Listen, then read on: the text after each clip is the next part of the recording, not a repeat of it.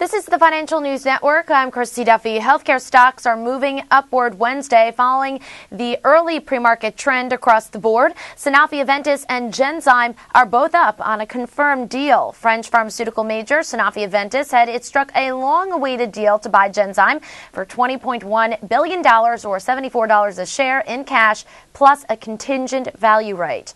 In addition to that cash payment, every Genzyme shareholder will receive a contingent value right for each share they own, entitling the holder to receive additional cash payments if specified milestones are reached.